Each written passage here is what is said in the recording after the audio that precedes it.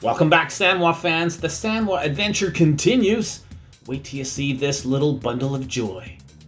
It's the PM11 digital multimeter from Sanwa. The Sanwa PM11 is made in Japan. Pocket multimeters are very popular these days and for good reason. They are easy to transport, pretty powerful, and overall basically can almost do the same task as a full-size multimeter. Yeah, why not? First thing you'll notice, at least the first thing I noticed, is just that this is different looking. Um, not your typical pocket multimeter enclosure, and that's probably a good thing. No, this thing is classy. It is really, really solid, rugged, nice hard plastic, and uh, you know, just overall looks very, very nice. Almost like an e-reader cover. You simply press down on that little clasp here and voila! Yeah, there it is in all of its Sanwa glory, 4,000 counts with a bar graph. Wow. In the box itself, we get our standard certificate of calibration, as well as our mini user guide or user manual. And uh, this is sort of a pull-out guide. Um, all in all, nicely done. Uh, it is in both English and Japanese, but uh, very, very nicely done. All right, on to the good stuff. Boy, just look at the lines on this little pocket meter. Absolutely, absolutely gorgeous. Um, maybe I sound like a broken record, but I really am impressed by the overall fit and finish. The molding that Sanwa puts out with its multimeter range, uh, really second to none. They do an amazing job. Look at the clasp mechanism here on this uh, cover. You know, this thing is definitely going to be in there for the long term. Very, very nice. Now it folds all the way back, and you can actually use it as a stand. Ten, Eddie, soldier. Let's talk about those Sanwa test leads. You know, I love my Sanwa test leads.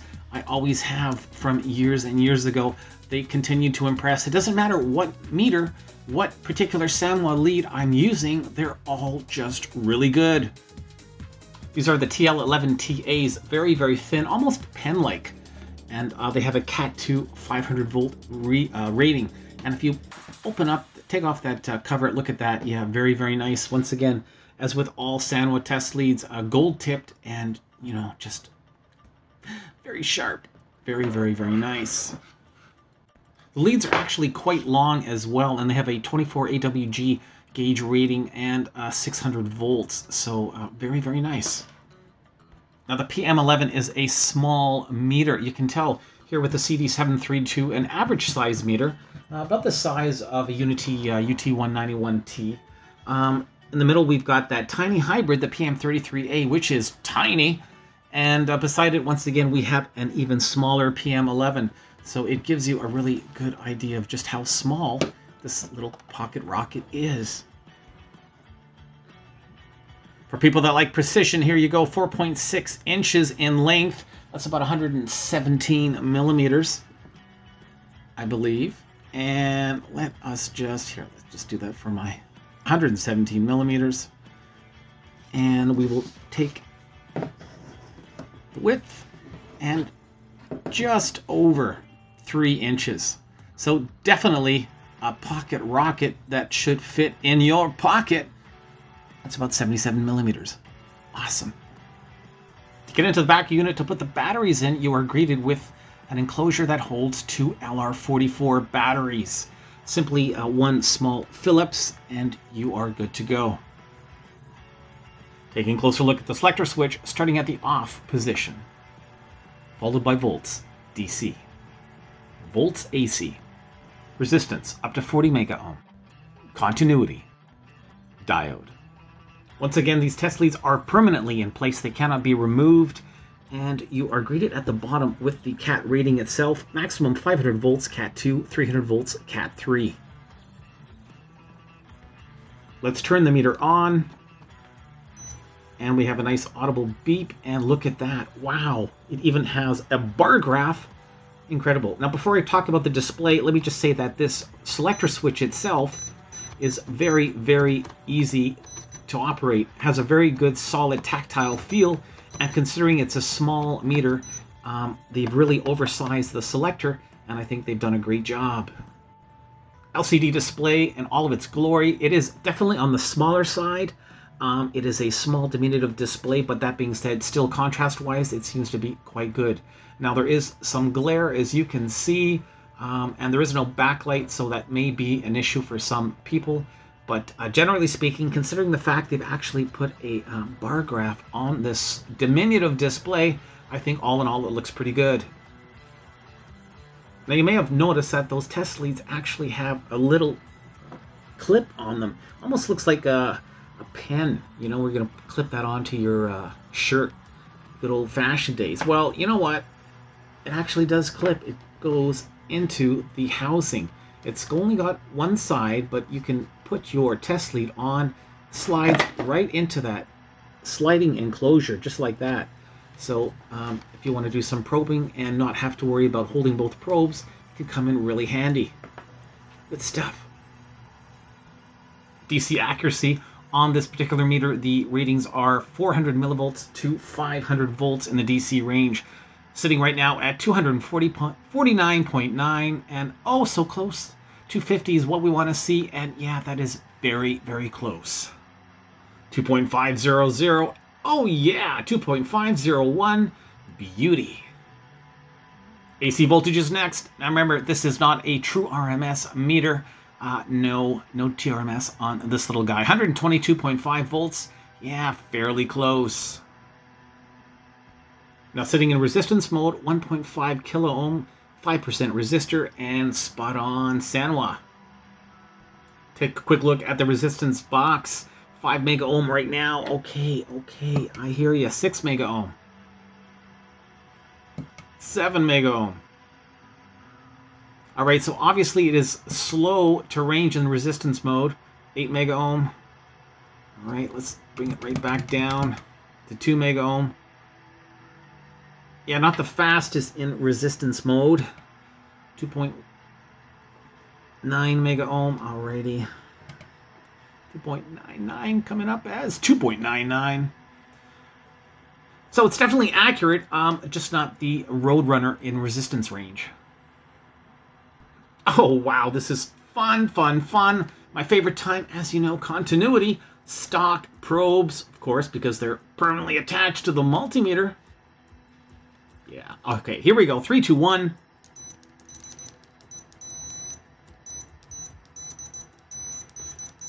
It's latched, it's not really very loud, and there is definitely a lag. It is definitely usable, though. Hmm. Alright, making up my mind. Eh, it's okay, it's okay.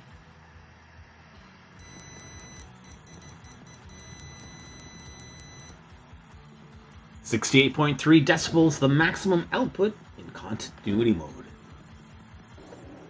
Have it hooked up to a DC power supply right now, and I'm just looking at that bar graph, and overall, I'm fairly impressed. It is pretty responsive, uh, going back and forth here, up to around 4 or 5 volts, but uh, yeah, I mean, generally speaking, uh, yeah, that is that is really good. Good refresh rate. Excellent.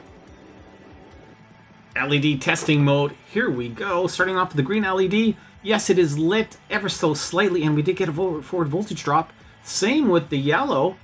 Over to the red. Yes, it is lit and a forward voltage drop. Wow, surprised. Over to the blue, and it is lit, but no forward voltage drop. Finally, the white lit again, uh, but no forward. So, hey, 5 out of 5 in terms of illumination, and 3 out of 5 in terms of forward voltage drop. You know what? That's pretty good considering we're getting power here by two LR44 batteries. Hmm, not too shabby. Okay, we're going to try standard diode. Here we go. I really don't see any problem. And, of course, no problem. 2.89 volts, maximum output voltage in diode mode. By the way, to get the test leads into the meter, really not too bad of a deal. Um, you stick them in there, and it doesn't have to be perfect, really, because that encasement has a nice little uplay to it, and you can just simply, and I did say simply, feed it over, and voila. Awesome.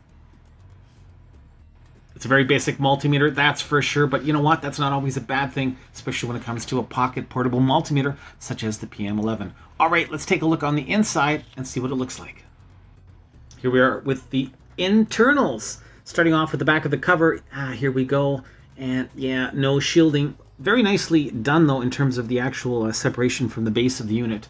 Uh, four Phillips screws and uh, no problem whatsoever. And that battery compartment, as you can see, it does have a threaded insert, so that is definitely a plus. On the reverse side, really not much to see. Uh, here we have those positive and negative test leads themselves. Wonderful globs of solder. Yeah, I love it when I see a nice big blob of solder like that. And good size gauge wiring, so good job, Sanwa. There's the two LR44 batteries, and we have uh, one capacitor over here, but that's it, that's all. Um, I see a little bit of input protection over here peeking out. Let's flip it over.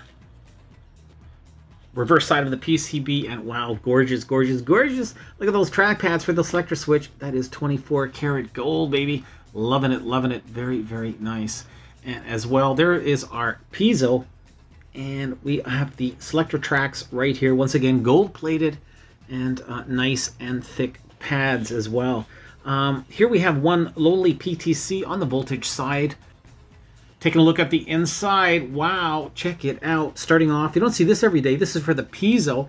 We've got two tiny little springs here, and that's what makes contact with those contacts on the PCB, giving us that buzzer. Very, very interesting. The main IC, well, there you go in all of its glory. That's the Cyrustek ES51977, uh, an integrated analog to digital converter 42 segment bar graph LCD display and only takes 3 volts uh, in terms of a power supply. Very, very nice. For the display itself, here are the contacts. Here is the elastomer, and that is was what gives us that really nice, crisp LCD display. Overall, um, very nicely done, nice and clean. Nice big blobs of solder where you need nice big blobs of solder and uh, good attention to detail. Okay, gonna put it all back together. Go back with my closing thoughts. Closing thoughts on the Sanwa PM11 Pocket Multimeter. Yes, I love it. You knew that was gonna happen, right? Wow, this is once again a really, really nice multimeter. A digital multimeter with a bar graph and test leads that are just awesome. Um, and long. These are pretty long test leads. This has definitely got a lot of versatility. Now the downside is it does not do current. Yeah, I know. Ah, oh, milliamps would have been so nice, but alas, it is what it is. If you're looking for a good basic all-around pocket multimeter though, it's really hard to go wrong with the PM11. The Sanwa PM11 gets a solid 3.5 out of 5 stars. Hey, I really like this PM11. I've been using it off and on for a couple of months now, and it is a joy to use. And don't forget, we have that Sanwa prize draw giveaway September 15th live on YouTube. Yes, you can win a multimeter courtesy of Sanwa. And you know what? I'm going to give away at least two of them, maybe more. We'll see. We'll see if I'm in a good mood or not. Hey, I'm always in a good mood. Stay tuned for that, courtesy of Sanwa Electric Instrument Company Limited, Tokyo, Japan. Till the next one, keep on testing.